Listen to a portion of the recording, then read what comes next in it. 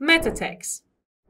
Information that appears in the HTML source code of a web page to describe the content to search engines.